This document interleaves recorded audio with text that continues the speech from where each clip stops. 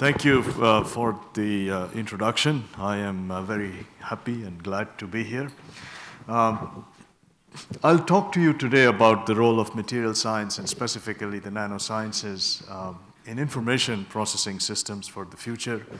Um, a lot of this work was done with my colleagues at IBM, uh, at, uh, now at Rutgers, and uh, also Gallo in California.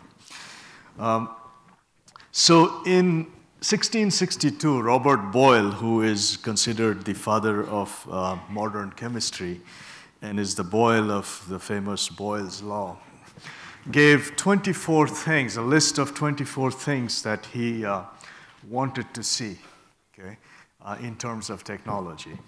And if you look through the list, it is very interesting. Prolongation of life, the art of flying, the art of continuing underwater, etc., etc. But of this 20 list of 24 items, um, roughly about a third have not been realized yet. About a half to two thirds have been realized or have almost been realized. Uh, and, the, and a bunch of them, a huge, a big fraction of them uh, are things related to nanomaterials and material science. And those I've highlighted in yellow. So for instance, the transmutation of metals. Uh, you can do it, but it is not economically feasible today. The making of glass malleable, nobody has been able to do that today. You know, glass remains brittle. Uh, the liquid alkaest and other dissolving menstruums, that's item number 13. They use uh, medieval English terms, but basically it is asking for a universal solvent. Uh, now, if you had a universal solvent, there would be nothing to store it in because it would dissolve the container. So that's a little bit of a problem. Uh, a perpetual light at the bottom. Um, I think with solid state lighting, uh, that has arrived today. But of all this list of 24 items, uh, there's one item that is, um, that is missing over here. And can someone point out what that is?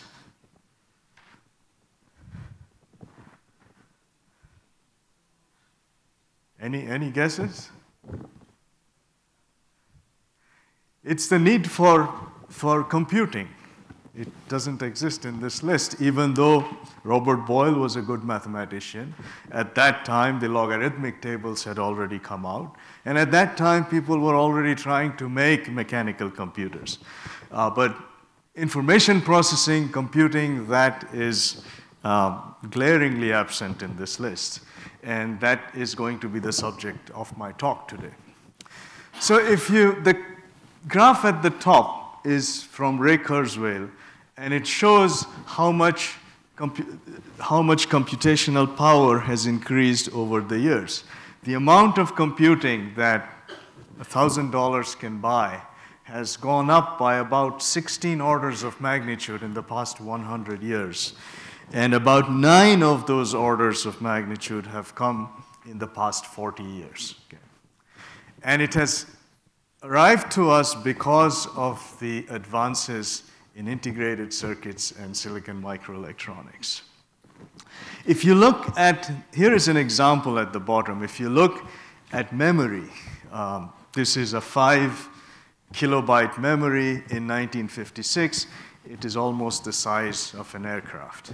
Right? And this was in state of the art in IBM in 1956. This is roughly state of the art today, 500 gigabytes on a 25, two and a half inch memory. We can all buy this in the stores today. And on the right is what one may consider the limits. This is, these are 12 um, iron atoms that together form a bit of memory. And so um, 96 iron atoms form a byte. This, in theory, means that two and a half inches will store 500,000 gigabytes. So this is, you can think of this as sort of a fundamental limit for memory storage where it comes down to the spin of a single atom, or in this case, actually a cluster of 12 atoms. Okay. But this is what microelectronics progress has done for us today. Going forward, however, things are going to change. Uh, a lot of this progress that has happened today is because we have been able to make transistors smaller and faster and cheaper. But if you look at the essential architecture of the computer, that has not changed in about 70 years or so. It is more or less the same as it was in the 1940s. Okay? So today, when we think about a conventional computer, we use von Neumannian computing, where we use you know, the execute, uh, the fetch, decode, execute, store um, process to do our computing in sequence. And we work on three things, logic, memory and communications. Logic is the processing, the transistors, etc. Memory is the storage of the data, and communications is the I/O, you know, shuttling data between different parts of the computer. And we focus on these three things. Right? But if you look at the future computer, there is a feeling that this future computer will need to be um, non-Boolean in nature because there is a lot of data today where uh, what we wish to extract from it uh, is is, qualitative rather than quantitative. So we want to do things like identify clusters of data, identify patterns in large amounts of data. And so there is a lot of interest in looking at new forms of computing that are inspired by things like biological information processing or quantum computing. Uh, we want to look at computers that are connected to sensors. You can think of it as a distributed form of computing, but that is where computing is headed in future, right? So a lot of our work today in the material science device space is to look at this type of future computer, which is not just going to be a sort of scale transistor. Okay? So in um, let me skip this. So in today's uh, talk, I will, I will give you three examples in three different directions, all related to information processing. Um, the first, I will stick to conventional computing and where that is headed. Uh, and I'll tell you a little bit about silicon and Moore's law and what might come after silicon, but sticking within the realm of conventional computing. Then I will say a few things about non-conventional computing, uh, non-von Neumannian computing, and, and, and, and, and you know, how we can gain inspiration from biological uh, information processes and where that field is going. And then I will end with an example on what we call sensor-based physical analytics or sensor-based uh, uh, systems, uh, similar in flavor to uh, some of the results that the previous speaker spoke. And this is an area where I'll give you an example from agriculture, and this is an area where I personally am very, very interested going forward. So let me start with the one on top. Okay, stick to conventional computing, and where is that technology going? Now, the graph here charts the progress of silicon microelectronics. In the 1980s to about 1990, computing technology, silicon microelectronics, was bipolar transistor based. And those circuits started consuming enormous power. And so you ended up with sort of a heat bottleneck where the amount of heat generated in those chips was getting exceedingly high. So in 1990, there was a switchover in the field from bipolar to CMOS technology. Okay? And then from 1990 to about the mid 2000s were essentially the golden years of CMOS technology. Moore's law was followed over here. How many of you uh, do not know what Moore's law is? Please raise your hands. Okay, so Basically, what Moore's law says is that every 18 months to 24 months, the number of transistors on a chip reduces by half. Okay? So essentially what we do is shrink the size of a transistor. Here is a very simple schematic of a transistor. There is a silicon wafer, there's a source of electrons, a drain which collects the electrons, there is a gate which is an insulator, and there is an electrical contact on top of the insulator. Now, if you place a little bit of charge on top of the insulator, which is a silicon oxide layer traditionally, then you get an image charge at the bottom of the oxide that changes the potential in the silicon, and that changes the current going from the drain to the source, so the transistor acts as a switch. Okay? So as you keep shrinking the length of this channel, you reduce the transit time of the electron or the hole, and the speed of the transistor increases. If you shrink everything together, then the voltage that you apply on the electrode reduces. The number of transistors uh, per unit area reduces. And so the energy or the voltage required per, um, per circuit reduces. So you get lower cost, higher performance, lower voltage operation, right? So this is, this is basically the engine that drives Moore's law and is called Dennard scaling of the transistor. So coming back to this chart, 1990 to 2005, we basically took the silicon chip, uh, took the silicon chip and the circuitry, we put it on a Xerox machine, we put, you know, 2x shrink, and press the start button. And we would do this every 18 months. And this is how we kept getting, uh, getting a smaller and smaller um, chips, cheaper chips. And this boom in classical scaling is essentially what has given you smartphones, the fact that you can store your images in Facebook for free, and the fact that today in a smartphone you have more computing power than you did in a server in the 1990s. Okay? This is mostly due to the microelectronics revolution. Now, the channel length or the, or the, you know, roughly the dimension of the transistor, by the time it came down to about 90 nanometers, uh, there were problems that started and the silicon transistor had to be changed. We replaced the silicon oxide with a different material called hafnium oxide. We changed the material in the silicon by adding things like germanium. And we kept scaling this technology. And today we are at what is called the 22 nanometer mode node. Very soon we'll go to what is called the 14 nanometer node, which will be again roughly the size of the transistor, very roughly. Okay? And then the transistor itself has now, instead of having a planar geometry, has become more like a fin. So we keep doing all these very expensive tricks to try to make the transistor smaller and smaller. And better performing. Okay? But the end of Moore's law is close. I think most people agree that in about 10 years' time, by the time we hit the 7 nanometer node, silicon technology scaling will come to an end. So the question then is what next? And if you stick to conventional technologies, okay, this is a sort of picture of a computer of the future. It will be a machine with no moving parts. It will have non-volatile memory, no hard drives. There will be huge banks of memory that will surround the processor. The memory will have to be cheap. Optical links will replace electrical links because of cost and power issues. Uh, there will be on-chip power conversion with things like magnetic inductors and gallium nitride technology.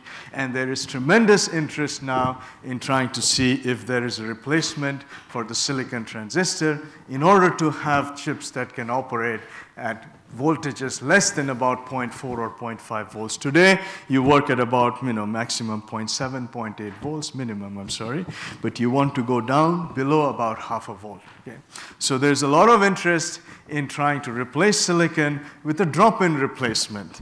Um, and carbon nanotubes are one such candidate that we had worked on and continue to work on extensively at IBM. So what I will show you first are some results with carbon nanotube technologies, okay, uh, as a replacement for silicon. So while I was at IBM, which was about you know, four years ago, we looked at all the various options for replacing silicon. And uh, we lined up the needs, properties, and figured that there is only one material that, what, that we can hope will replace, uh, can replace silicon, and we found that to be carbon nanotubes. Okay? So we began a project trying to do carbon nanotubes, um, looking at it in a very sort of technology-centric fashion to try to see if carbon nanotubes could be a viable replacement for silicon. There are three reasons why carbon nanotubes are exciting. One is that they have a very high mobility, 20,000 centimeters square per volt second. Um, they, their band gap can be tuned down to 0.3, 0.4 uh, electron volts, and so they're compatible with low voltage operation.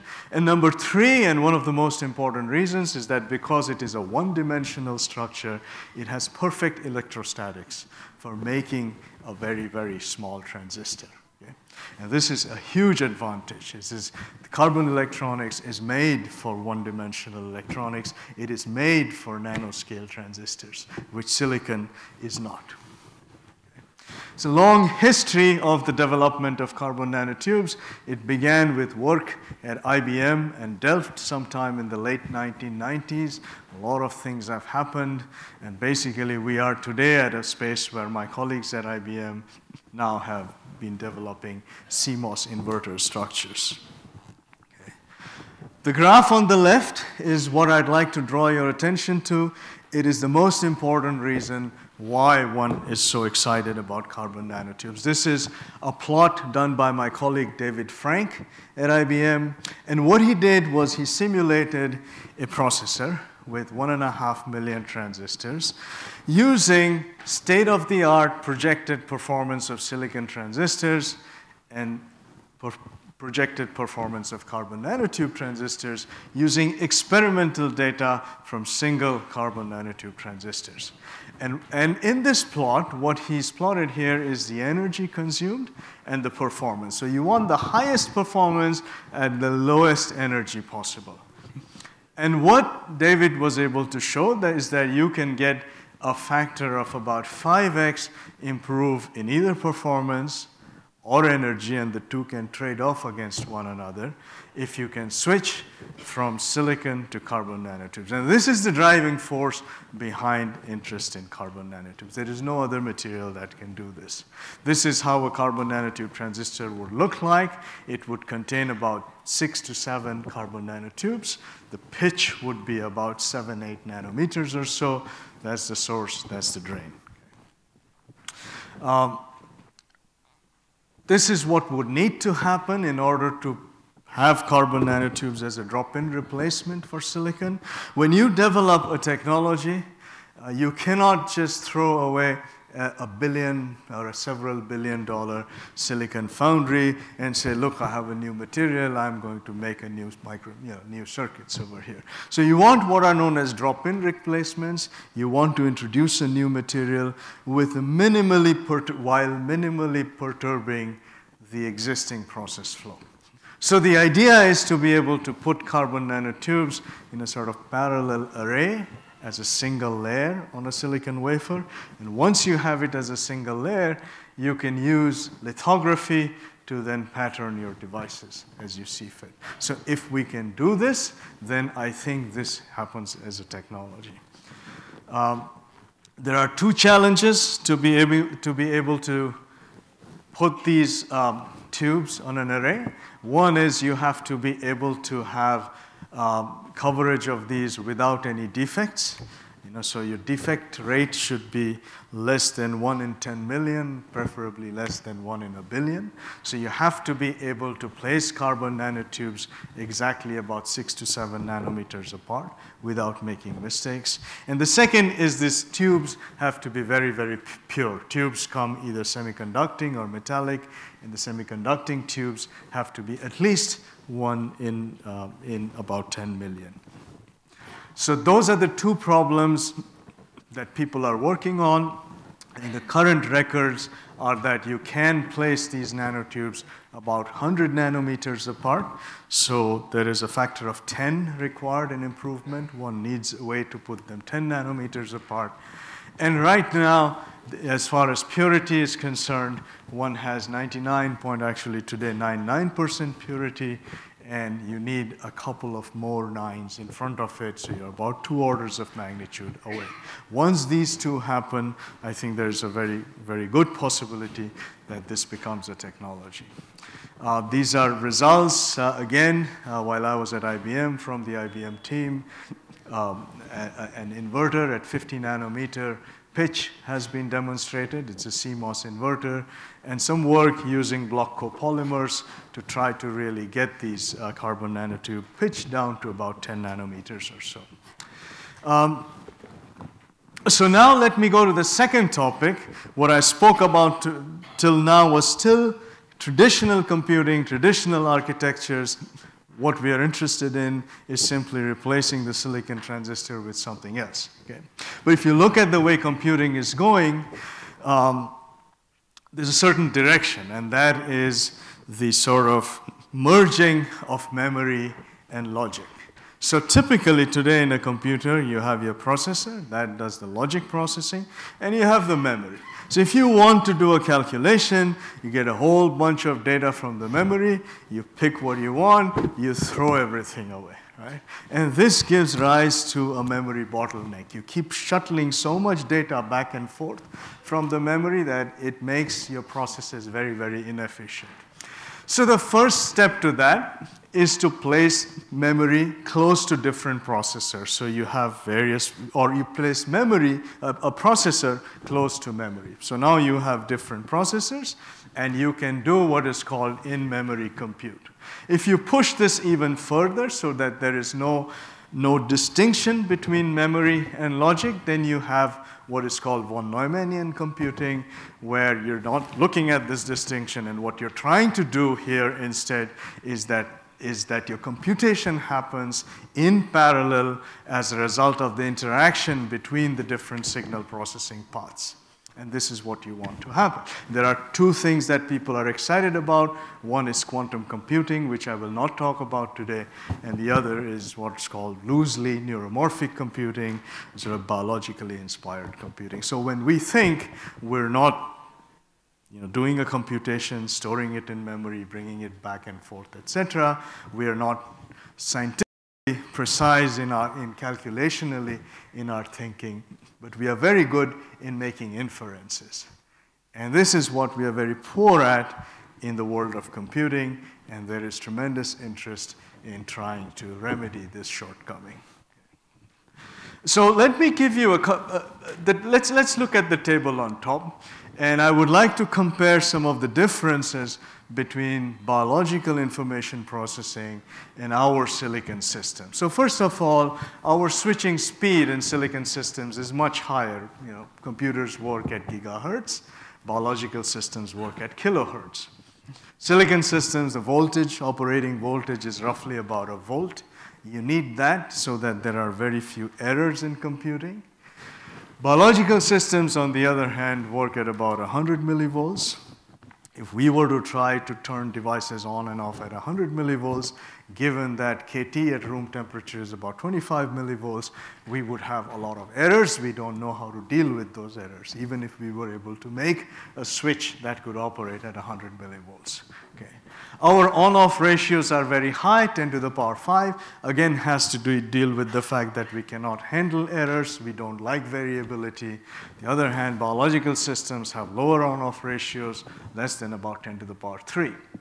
Now, there are two big differences coming up. One is fan out, that is one wire can channel out into how many wires. In our systems, in silicon, it's no more than three or four. We cannot handle fan out more than that. In biological system, that number goes into the tens of thousands. And this is a major difference. And I'll come to that shortly as to why that is. And it's related to the way we deliver power. In, in, in our silicon systems, our power delivery is remote. We then send the electrons down a wire. There is Joule heating loss, so we have to keep putting pumping stations that essentially beef up the voltage and pin the wire. in biological systems, the, the power comes from the bath, because of the differential diffusion of ions, gives rise to a voltage spike that skims along an axon. It is a completely different way of power delivery, and that is what actually allows you to have this tremendous massive amount of fan out. So those are two big differences. Our silicon systems are not reconfigurable, meaning you can't you know, change the circuit on the fly, and we do it in very clumsy ways using software and so on. Biological systems have very high reconfigurability. Our silicon systems, we only have electrons and holes, and the only way we can modulate is by applying electrostatic fields. Biological systems, we have ions, we have functionalization. It is a much richer, dynamic um, ability to, to be able to, uh, you know, deliver charge and control it. Okay? So those are basically the differences. So given these differences, going forward, there is tremendous interest in looking at new materials that can work at very low voltages.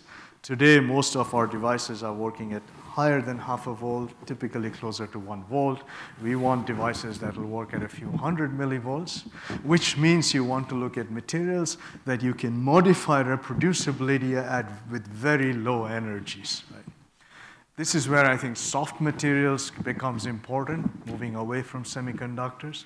But I personally think there is a lot of interest in sort of mixed oxide, oxy semiconductor, um, oxychalcogenide semiconductors, where one can take advantage of their, their rich defect chemistry to be able to try to make materials that can be modified at a few hundred millivolts. We want to be able to try to engineer defect clusters in, in being able to do so. If you look at the 1960s, uh, Shockley had wanted to do wiring using dislocations in semiconductors. Um, nothing came about in that, but maybe this is the time to look at being able to architect defects in atomic clusters for making new types of devices. Uh, we have to be able to figure out how to embrace variability. If you make transistors that work at 100 millivolts, they're not going to be all the same, okay? They're going to fluctuate. We need to learn how to deal with that. And we have to learn basically the physics of learning. So those are the directions where a lot of nanosciences, material sciences, in information technology are headed today. Okay. Um, here are some examples. So if I look at, let us say, what are called neural networks, uh, this has been um, studied at least at an algorithmic level for over 40 years or so. And today there are software neural networks, and if you have used Google or Amazon or the internet, you are using inadvertently software neural networks several times a day. Okay? The next move is to go from software to hardware chips that are specifically built for neural networks, but which still stick to traditional silicon CMOS. This is at an advanced R&D stage now. There are several companies that have chips coming out, which again, the driving force here is low power. So you are doing all of this so you can compute using much lower powers. And the next step beyond that is to look at new materials of the type that I was talking about, new non-silicon materials that can even give you even lower power operation um, of such neural networks. And there's a lot of different materials that people are studying that typically involve, uh, you know, trying to make artificial synapses, artificial neurons. So if I take artificial synapses, for instance, there's a lot of interest in looking at chalcogenides or oxides and applying a voltage to create some change in it which results in a different resistive state in the material that you can read. And that gives you a sort of synapse that can be weighted. There's phase change memory, resistive RAM, chemical bridge RAM. These are several of these examples of materials that people have worked on. Um, I will skip this. This was just interconnects and reconfigurability. I already spoke about this earlier. Basically, the, I think going forward, there's very little work done today in trying to make interconnects um, the way biological systems do. Okay, and this is so. So we are beginning a project at Argonne in trying to build an artificial axon. So this brings me to my third topic, and I have just about 12 minutes left, so I'm on time.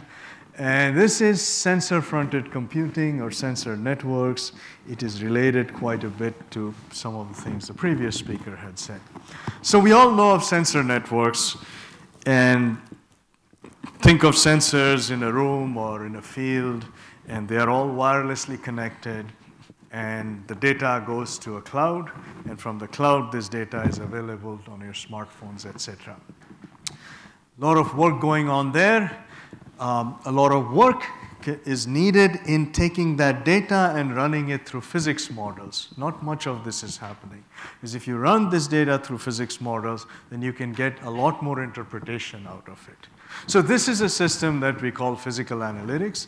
We started this work about 10, 12 years ago at IBM, and it is continuing. And I will give you an example of physical analytics through a two-year, three-year experiment that we have been doing with Gallo wineries in California in the USA. Okay.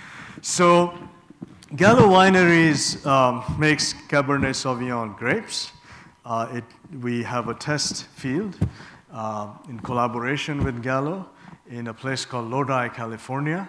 And the idea is very simple. Um, as the previous speaker mentioned, uh, when we deliver water or nutrients in agriculture, uh, we cannot measure them accurately, and because we cannot measure them accurately, we often overdose these nutrients. And this is a huge issue.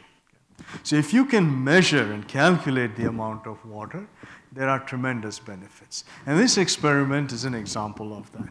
And to start with, what we did is we did something very simple. There are no, even no sensors involved. We took satellite images, which are free. You can get Landsat images throughout the world, okay, with about few hundred meter accuracy. And these satellite images come in eight wavelength bands. You can take that data and you can calculate essentially the greening of any canopy. So you can get roughly what are called chlorophyll maps. So we took this winery, sort of a test field, and we would calculate the greening. You get, you know, two points of data for the same spot every month as the satellite goes over and over. So you can look at the greening of the canopy, and you can also get the temperature the wind speed, the humidity, all of that data is available. And from that, you can calculate, and I won't go into the details, but these are standard agronomy models. You can calculate how much water is going to be required by that plant. So what we did is we took a test field and vineyards are typically irrigated using what is called drip irrigation. You look at the vineyards in Maharashtra, they also have drip irrigation. Drip irrigation is also used in India.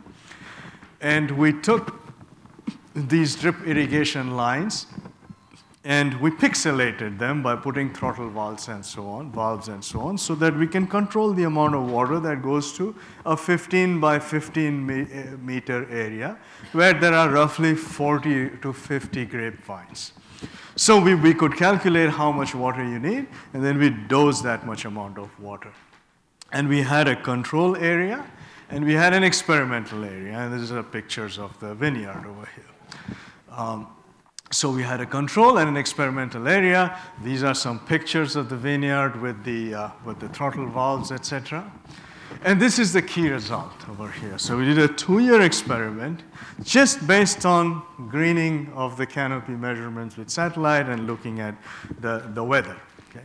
So two things you want to look at. We looked at the yield. So we had two regions. One region we optimized for yield. One we optimized for water usage. Okay. So we measure yield, that is simple, tons per hectare. And as you can see that at the end of year two, we started getting about 20, 25% improvements in yield just by doing this calculation. And, and with the goal of trying to even the greening of a canopy. Okay? The water efficiency is measured in, um, in the amount of water you need to uh, make a kilogram of the produce. Okay? And the water efficiency, we saw between 10 to 20% improvements. With the simple thing that we did, these are tremendous benefits. And it shows that by just measuring the amount of water, uh, you can really, really go very far in terms of conserving the water as well as improving yield. And this is simply the tip of the iceberg, right? Um, if I look at uh, for instance, the amount of things that one can measure in agriculture, and this is an exhaustive list. And then you can use this in models to calculate the amount of water and fertilizer and pesticides you need. Okay? You can revolutionize agriculture. To start with, there are just two things that, that, that, that are important to measure that will already revolutionize the field. One is something the previous speaker had mentioned, and that was soil moisture, and the other is soil nitrates, okay, dissolved nitrates. Nitrates are volatile, they keep, their concentration keeps going up and down, and you need to measure that. And you cannot do point measurements, you have to measure it averaged over feet or meters, because this thing, you know, it, it, it because of things like uh, porosity in the soil and water flowing through the soil, point measurements can often uh, not give you representative data. Okay? Um, cost is a big factor in all of this, and this is what has prevented um, you know, sensor-based agriculture. Today you can buy these sort of units and they cost anywhere from between $800 to $2,500, and they'll get you a sensor, little wireless hub, power supply, etc., etc. Okay? And that is very, very expensive. Let us just take an example.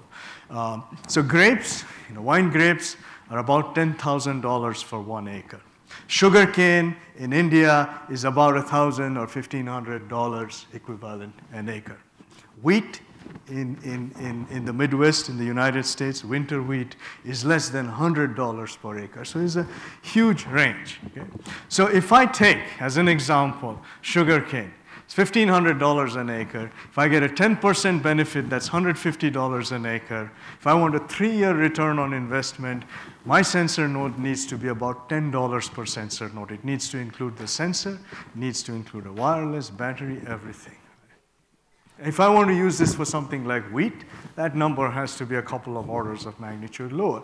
I believe it is my personal belief that this will come and this will be the big thing that the Internet of Things will enable going forward. It will be about doing benefits to things like agriculture and water globally.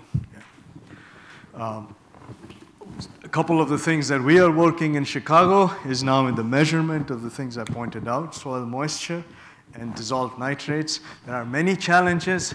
Uh, soil type and texture is important because you measure properties like dielectric properties of soil, and that is, that is affected both by the texture of the soil as well as the amount of water, salinity, moist, you know, spatial variability, iron content. So these, these are complicated measurements, but they have to be cheap. That is the challenge. But in the end, we envision a system where there will be sensors in the ground they will be, they will be wirelessly linked. One will have to solve problems of wireless transmission underground. They will be connected to a wireless hub that will send it to the cloud. So at the University of Chicago, using the concept of the university as a lab, we are setting up such a hub and we'll be using sensors for moisture uh, and things like dissolved nitrates and so on. Okay. So this is the end of my talk, and I will um, end with a couple of closing uh, thoughts here. First is that if you look into the future, look for, in information processing, look for new non-Boolean computing approaches that, that provide the promise of ultra-low power computing. A lot of interest in trying to um, analyze and look for patterns in masses of data. That is what big data and analytics has given to us. Uh, silicon scaling will end, I think, within the next 10 years. And look for physical analytics or Internet of Things that's sensor based. This will boom in the next 10 to 20 years and can, can really affect things like agriculture and water management. And finally, a more personal comment, uh, something I have realized through my career today, there is tremendously fast propagation of technology. Um, when I was growing up in India, something that came out of the West took three to four years to then propagate over here. Uh, today it is very different. I come here in India from Northeast India. It's a very different place uh, from Bangalore or Delhi. Uh, but even there, uh, a few years ago, in remote places, I found, you know, people were using um, solar lanterns and storage technologies that used, uh, you know, tungsten-doped lithium iron phosphate. It is a state-of-the-art solid-state electrolyte. You know, ultra-bright gallium nitride um, LEDs. These are things that were developed just a few years ago, and these are rapidly migrating globally. So I think this sort of equilibration of you know, the effective technology potential across the world this is happening much faster today and, and, and moving into older societies than it happened in the past. And so I conclude with this picture that I found amusing. Uh, this, is, this is a puja going on in India. And in addition to the traditional gods and goddesses, uh, what you find is that they have added a laptop and, uh, you know, and an iPad and things like that. And, and, and I think this is where technology is headed. Thank you very much.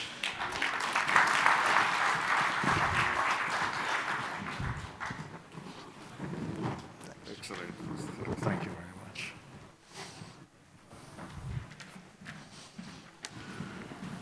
So friends, so that's the great the address by Supratik Guha, who started his lecture from future computer, then started elaborating about the conventional and non-conventional computing.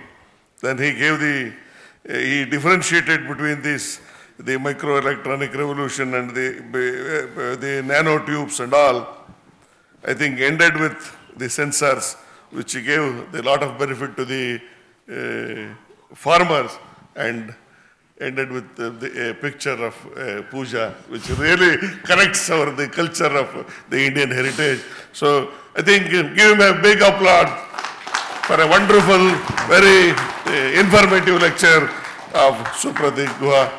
Friends, due to the paucity of time, we will not take any questions. I think uh, uh, maybe during the coffee break, we'll, uh, you can meet uh, uh, Professor and uh, discuss or take any clarification during the coffee break. So with this, thank you very much. Before we leave, I would request Dr. Maheshapa to give a memento to Professor Supratik Guha.